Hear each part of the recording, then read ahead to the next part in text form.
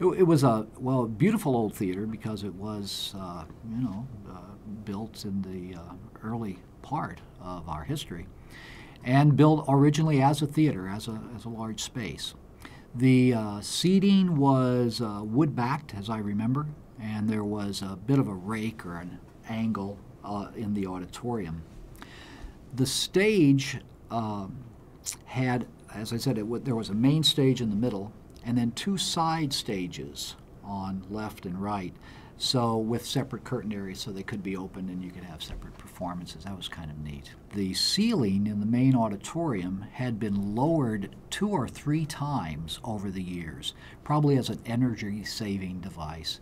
And uh, so when I was there, um, or uh, when I arrived, it had been lowered to standard, what we would consider today standard height, and had acoustical tile on the ceiling. But a couple of times I was able to climb up into the original, uh, the rafters, and see the original woodwork, which was magnificent, huge arches and very fancy and, and nicely uh, carved uh, woodwork. It was beautiful. One of the interesting features, you asked about interesting features, uh, were the bats that lived in the administration building. And you would see those not only uh, at night, but sometimes in the early evening. We did do some rehearsals in there. We did not perform on the large auditorium stage uh, that year because we were doing some renovation. At the time of the fire, they were putting in a very large revolving platform in the middle of the stage, as well as some other renovation. And so, because of that major construction, it was unable to be used, and we were performing both in the studio theater, the basement theater, as well as Charles Johnson Theater, which was operating then also at the time. Oh, back to my bat story. We did rehearse sometimes on the stage uh, of the Deerwester. And the first time I was rehearsing there, I was brand new, and, and uh, we were rehearsing a, a, show called A Flea in Her Ear and uh, in the middle of rehearsal, the students jumped off of the, the stage and squatted down in front of it below the seats. And I didn't know what was going on. They, of course, were used to this, and they called out something about a bat attack, and sure enough, dozens of bats came flying out from above the stage, the, wing, the uh, fly space, out into the auditorium and found some hole that they knew about and, and left, went out for the night. Uh, I was shocked, but, but I got used to it. Happened several more times while I was there.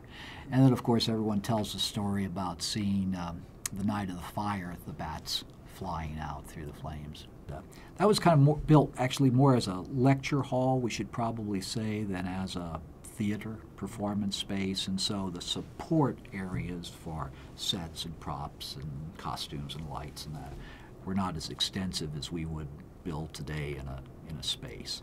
And so most of the shop area and equipment and storage was actually all downstairs in the back of this um, studio space, a studio theater space, which had a little stage at the end of it, as most high school gyms nowadays would have a small stage at the end and then two side seating areas.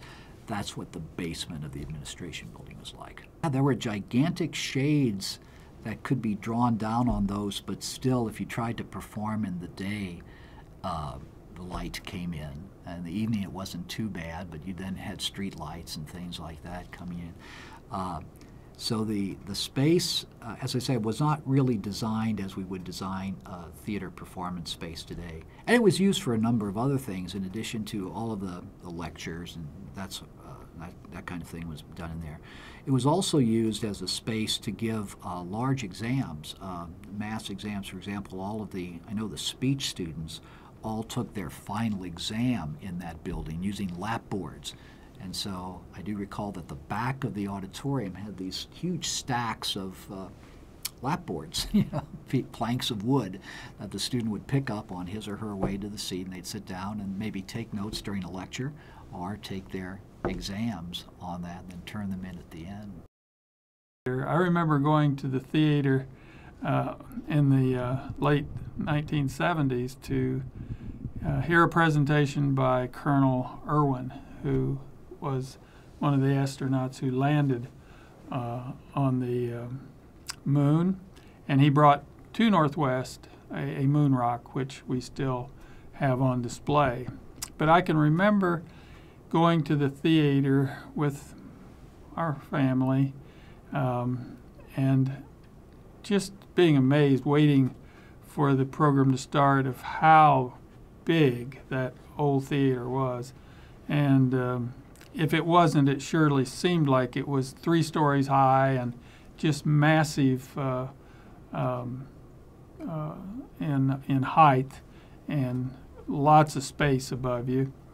And of course, it, uh, as I remember, it had the wooden seats and had a, had an old uh, appearance to it. Very large stage, high curtains, and here was the astronaut at that point. Instead of talking to somebody uh, over uh, wireless in a space uh, station, we he was showing his experience using a a 35 millimeter carousel uh, of the pictures, but uh, it was still very impressive, and uh, I'll, I'll not forget those events that I went to in that theater. The thing that I that I remember about the theater was my office was on third floor, and there was a balcony where they did the lighting for the production.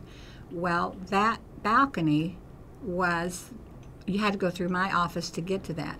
So I could go out there on that balcony during work hours. Wasn't supposed to do that probably, and I could watch them practice for their performances and getting ready for things. So it was kind of it was kind of neat. He was up there on that balcony area. It was big. that was, and uh, um, I, the acoustics were really not bad uh, for some uh, structure that was built in the early part of the century and uh, we had a lot of, of, of interesting uh, uh, offerings there. Part of the performing arts series, I believe they call it today, uh, speakers and, and that sort of thing, and, and very well attended. So the building served not only those of us who worked here and those of who studied here, but also the community. They attended, and, as they still do. It's interesting. Still, sometimes I have to admit when I go in, you know, I, I think about that and uh, or walk up those main stairs, thinking that I'm uh, I'm still. I, I remember walking up and having the auditorium on the other side.